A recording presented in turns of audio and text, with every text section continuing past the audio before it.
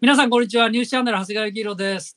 えー今日も、おーま前にやったのに引き続き続いて、えー学級社あ創業社長の川端さん、それから高橋洋一さんをお迎えして、えー教育の問題の2回目、えーをやりたいと思います。川端さん、よろしくお願いします。よろしくお願いします。高橋さんもお願いします。よろしくお願いします。はい。さて、それで早速ですけども、川端さん、あはい6歳になって、えーまあ、小学校に上がったとします。えーうんその時に、まず、まあ、それで、まあ、授業、いろんな算数から始まって、いろんな科目の授業がこう始まってくると思うんですけども、まず科目的には、国語とか社会とかさ算数とか、まあ、いろいろあると思いますけど、何を一番重視したらいいんですか？ああ、それはですね、やっぱり算数なんですよ。で算数？うん。あの、私が、まあ、お勧めするのは、はい。やっぱり勉強、勉強時間の半分は算数やった方がいいですよ。おということーなんですね。はい、はい、で、それの理由は何かっていうと、はい。結局、日本の教育制度の中ではですね、うん。まあ、東大だけが全てではないですけども、うん実は東大も京大も一橋も東工大もみんなですね、出題の形式っていうのは同じなんですね。で、はい。えー、だから東大に合わせてやれば、どこの大学も合格可能なわけです。で東大がどうなってるかっていうと、はい。えー一次試験があって、はい。二次試験があって、一次試験で落ちたら話にならないですけども、うん。えー二次試験では満点440点でですね、うん。大体毎年半分取れれば、まあ年にもよりますけども、合格するんですね。うん。220点取れれば。はい。ところがですね、その、配点が、数学はですね、文系が、えー80点で、理系120点なんですよ。はい。で、1問20点なんですね。はい。文系は4問、理系6問出るんですよ。はい。で、これ大体1問できたら、あの、0だと合格しないですけども、はい。1問できたところから受かる子は出てくるんですね。他のはい。はい。はい。ということはですね、ええ数学のできる子は圧倒的に有利なわけですよ。だって、あー20点の差をですね、はいみんな勉強できる子の中でですね、他で、えー取り戻すっていうことは、まあ難しいですよね。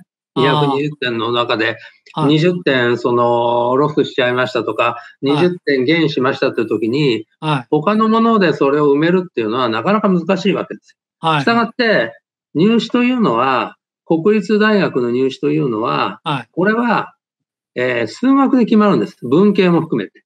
ああ、はい。はい。で、数学のできない方は、やっぱり私立に行くっていう選択肢なんですね。なるほど。はい。だから、その、将来国公立大学へ行こうと思ったら、は学で決まるから、はい。小学生のうちから、はい。その基本になる計算能力はつけておかないと、はい。これはもう話にならない。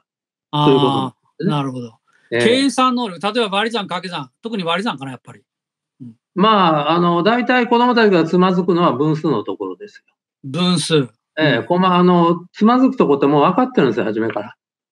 えー小学生の算数だったら分数でつまずくんです。中学生の英語だったら関係代名詞でつまずくんです。はい。はい。でそこで大体半分ぐらいが、こう、シャッフルされるんですね。なるほど。はい。だからそこのところで、まあ、分数だけではないんですけども、うんそこの、まあ、難しいところいろいろあるんですけども、とりわけ大きいのはそういうところでございまして、なるほど。それに向かって、うん。まあ、あの、力をつけてはいけない。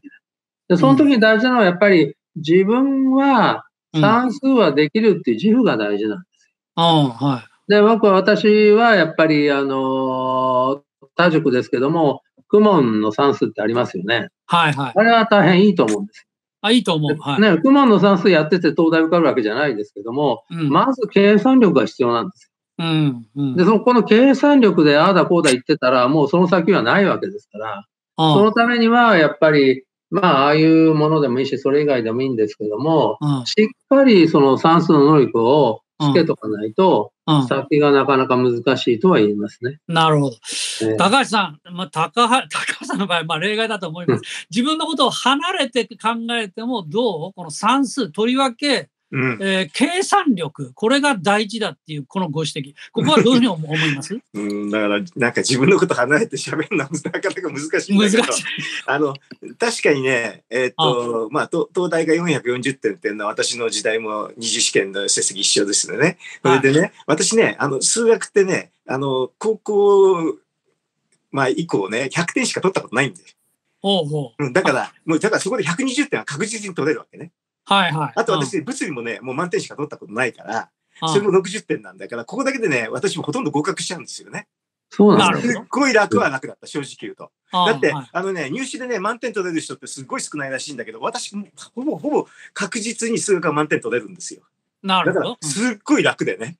うん。あの、だから、あの、数学ができると実は物理もできるから、連動するんでね、もう本当に、他はね、0点取っても大丈夫って感じになっちゃう。それでも受かっちゃうわけね。受かっちゃう。だからもう本当に楽、楽は楽。それであと、いろんな試験受けても数学が一番差が出るから、うん。うん、あの、そこでだから満点取っちゃうと、だからそのさっきの偏差値が100いくつっていう感じになっちゃう。なるほど。わかりました。じゃあ、まあ、お二人の話で確認できたけど、数学っていうのは他の科目との横並びじゃないんだ。そういうそういうことなんだ。はい。特別、やっぱりそこはプレミアムがつくわけね、できると。まあやっぱりあの科目の特性としましてね、うん。正解に至った場合とそうでない場合にはですね、うん。100対0。まあ、いや、あの部分点のっていうのもありますけどもね、うん基本的に100対0の差が出ますから、うん。そういう科目はないですよね。まあ、そういうことね物理や科学はありますけど。なるほど。はいさて、それで高橋さん、えーこのさ、算数、まあ、勉強したことないあなたに聞くのもなんだけど、これさ、じゃあちょっとあなたに対して質問変えるわうん。あなたはさ、す最初から数学とか算数とかこういうものが特別好きだったの？好きじゃないよ。あの、だから、すすべてわかるっていう。え、すべてわかる？どういうこと、うんあの、だから教科書、教科書読むともうあっという間に終わっちゃう。うん、わだかからる。どんどんどんどん、あの、教科書をも変えるじゃない。だからどんどんどんどん高学年の読めちゃうって、そんな感じ。なるほど。例えばさ、まあ、あの、社会とか国語とかさ、うんまあ、古文とか、あるいは中学だったら英語とか、いろんな科目があるじゃない、うんその中で、例えば、俺は実はさ、数学よりか英語の方が好きだよってことだって中にはたくさんいらっしゃると思うけども、うんあなたの場合は他の科目にはどうだったの？勉強ってもともと好きじゃないから。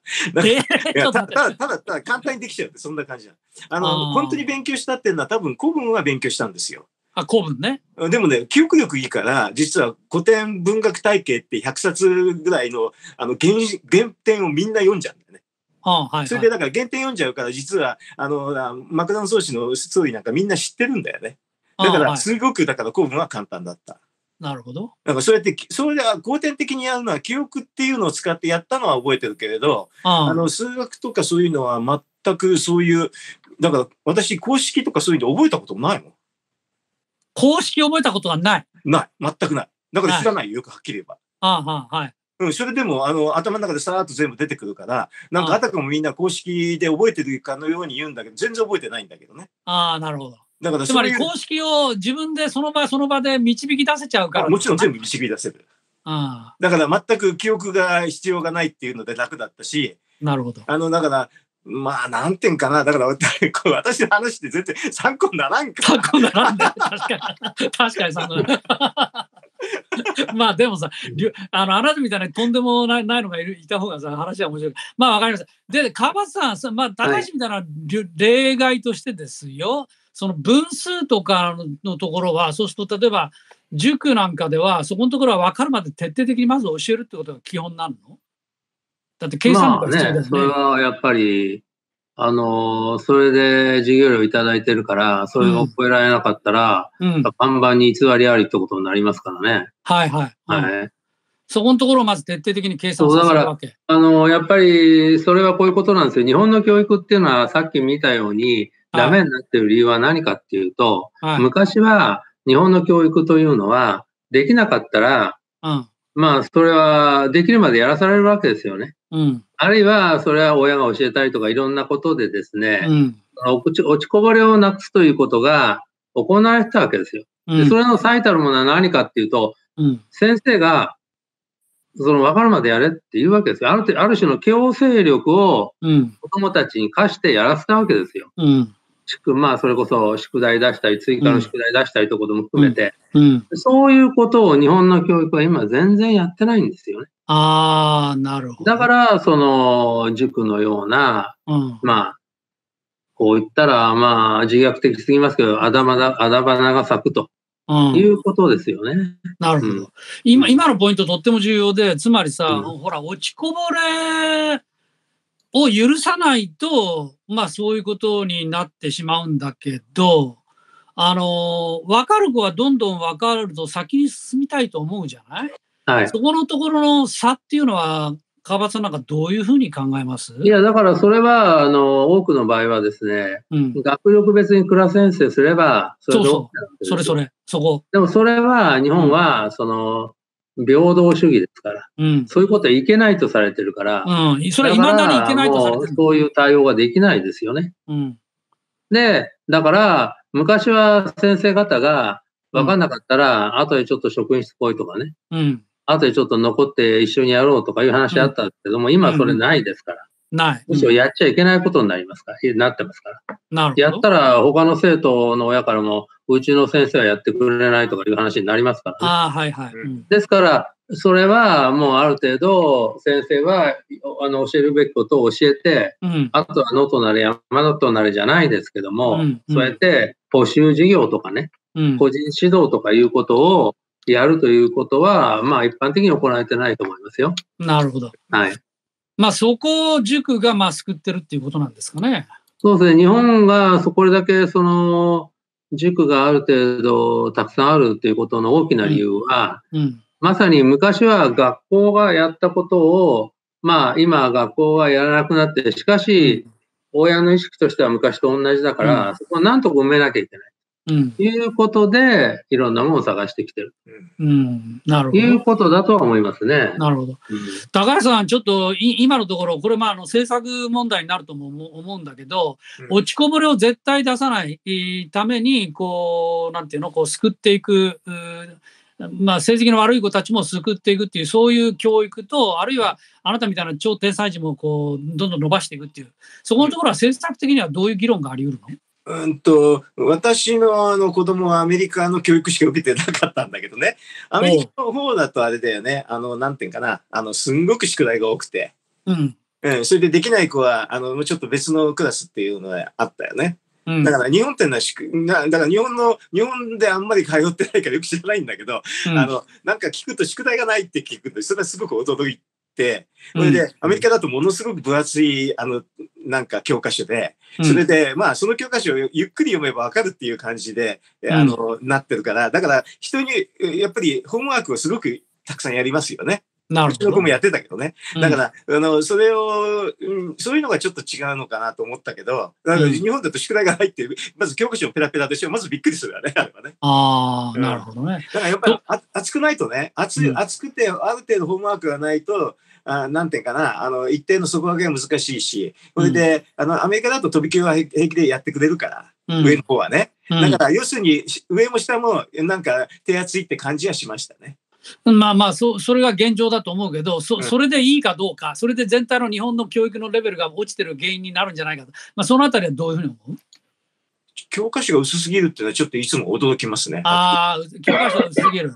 うんうん。教科書薄すぎて、あれだったら、あれでよっぽど教えないと無理じゃないかなっていう感じがして、でアメリカの方だと教科書ものすごく分厚くて、持っていくの大変なくらい分厚くて、うんこれで全部読まなくても、あと人に応じてたくさん読めばいいって、そんな感じですよね。なるほど。あのね、えっ、と、これは、これもこの番組の技術スタッフからちらっと聞いたんだけど、僕とかあなたとか、あの、川端さんの世代は、とは今の子子たち、あの、もっと若い30代、40代の子たちとは全然違ってて、なんかゆとり教育とか言ってうん、教科書がすごい、あの、教えること自体がものすごい減ったんでしょ？うん。確か。だから川端さんなんかもち僕らが受けたあの小中高の全然 実は現実が違ってるんでしょうね。うん。だから、あのー文科省に言われた寺脇健さんのね、そうそう。あの方の時代に、まあそういう形になったんですけども、まああの方が元凶というわけじゃないですけどもね、うんそれで、そのゆとり教育っていうことは言われて、日本の子供たちはもうキツキツなんじゃないかと。苦しんでる子供も多いっていうようなことのもとで、うん。内容がズバッとこう減らされたんですね。えらそうみたいなね、例えば、あの、演習率は3.14じゃなくて3って教えたんですよ。ああ、そうらしいね。それだから、言まあ、そういうふうに全部、こう、内容をですね、軽めにされて、えうんそのゆとり教育の反省というか、それもあったんですけども、基本的にゆとり教育の上に今もありますよね。うん、なるほど。うんうんで、えっ、と、そのあたりの、まあ、あの、足りない部分を、まあ、塾でやってるって、まあ、こういう整理でいいのかしら？まあ、あのーそれはそうですけども、うん。今度はその保護者様といいますかね、うん。まあ親の側で、うん。やっぱりニーズがいろいろに変わってきてるわけですよ。はい。例えば、昔は、あの、お母様方が家におられる場合が多かったんですけど、今はやっぱり、両親とも共働きの家が多いわけですよはいね。。はい。はい。そうすると、あの、うちの受付なんかに来られてですね、ええ。火曜と金曜日、その、子供たちのクラスありますかって、こういう聞き方されて、どうしてですかって伺うと、いや、その時間は私、テニスのスクールがあるんで、とかね。そういう話もあるわけです。なるほど。だから、あの、ニーズが多様化してます。はい。それから、やっぱり今の時代ですから、子供たちに早めに、まあ、その英語教育ですよね。あはい。英会話ですよね。はいこれをやりたい。っていう方も大変多いわけですよ。あなそるほど。れから、まあ、その、勉強いいからサッカースクール行きなさいとかね、リトルリーグ頑張んなさいっていう方も多いわけです。はいはい。そういう意味では、その、どうしても、その、義務教育の時代にこれだけはしなきゃいけないっていう、その、昔の社会の、その、要請というか、強制というか、それが今の社会では弱まってる。あなるほど。ということはありますね。なるほど。うん。あーそうすると自分のテニススクールのことから、子供のサッカースクールのことから、うんそういうバランスを全部見て、うんそれでやっぱりでもベストな教育を目指さなきゃいけないって、これなかなか難しいですね、これ。うん、そ条うです件が違うかね。ら。あの、やっぱり、その、特にサラリーマンというか、丸の内とかそういうところにお勤めのご両親の場合は、はい。その、学歴っていうのはどういう意味を持つのかっていうことをよくご存知なわけですよ。したがって、まあ、あの、血道を上げるなんて言ったら怒られますけどもね。とっても熱心なわけですよ。うん。やっぱり子供たちに自分たちが歩んだ道と、うん。少なくともそれ以上の道を歩みなさいというのは親心としてありますから、うん。そうすると、やっぱりその教育に対して必然的に力を入れられると。うん。しかし、今、教育というのはさっき見ましたように、とってもお金かかるわけですよね。はいはい。うんそうするとそこで、その、おじい様、おばあ様の出番になるわけですよ。なるほど。おじいさん、おばあさん。ででそちらが、まあ、あの、塾代出されたり、入学金を出されたりっていうパターン多いんですよね。なるほど。うんだから我々のところでも大体9時とか9時半とかに塾終わるでしょはい。そうすると、おじい様、おばあ様迎えに来てるっていうこと多いんですよ。なるほど。で、その方は職員室に来られて、うん。うちの孫大丈夫ですか？どうなってますか？とうんか、勉強してますか？とかね。う毎日のように来られる方多いんですよね。ん。なるほど。うんだから、こういう意味で言うと、もう、あのー、ずいぶん昔とは様変わりしてます。そうね。ちょっとね、今、今あなたが意味軸も一言言った学歴。ええこれについてもちょっと考え聞きたいのね。ええ学歴ってやっぱりどう川端さん大事だと思う？いや、学歴が何を示すのかっていうと、うん。それは、その、例えば新卒の学生の場合ですよ。はい。3年前のその子の学力が正確にわかるわけですよ。ああ、はいはい。東大と早稲田受かって早稲田行く子は一人もいないんですよ。ええ、そうね。はい。だから、行った学校で早稲田と明治受かって明治行く子もほとんどいないんですよ。はいはい。だから、学歴を聞けばですね、3年前にその子の学力がどうであったかっていうことは、入社試験しなくても完膚なきまでにわかるんです。はいはいはい。で、このことがある限りですね、ええやっぱり学歴っていうのは重要なんですね。例えば我々の会社でもですね、えやっぱりその、漢字間違えちゃ困るんですよ。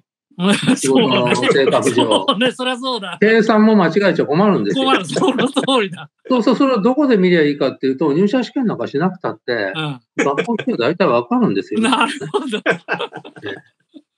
その通りだね。うん。高橋さん、もう今、ものすごい分かりやすい説明を受けたけど、高橋さん、学歴って、まあ、高橋さんに聞いても無駄かもしれないけど、ちょっと聞く。学歴ってどう？大事？あの、だからこれ経済学であってね、あの、はいススクリーニングするための、要するに一番簡単なやり方だっていうこと。だから今、あの、川端さん言ったけど、あの、うん要するになんかスクリーニングしなきゃいけないわけですよ。いろいろな社会がはいはい。それをコストかける、うん、自分のところでコストかけるから、なんか簡単なのがわかるんだったら、それで代用しちゃえばおしまいでしょ。なるほど。うん、それが当たり前じゃない。そういうことか会社だったらそういうことか。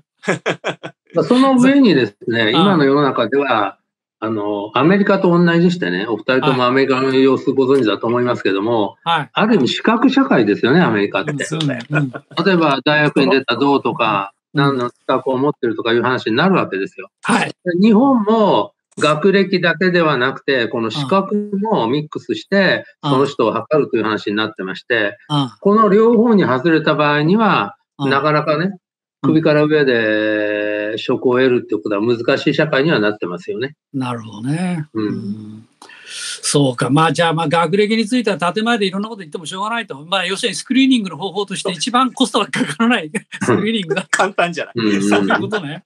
うんなるほど。わかりました。まあ今日はちょっと、まあに、これ教育シリーズ2回目で、まあいろいろ聞いてきたんですけど、うん引き続きちょっとまだ聞きたいことあるので、3回目に突入したいと思います。とりあえず今日は2回目、お二人方ありがとうございました。ありがとうございましたどうもありがとう。ございました。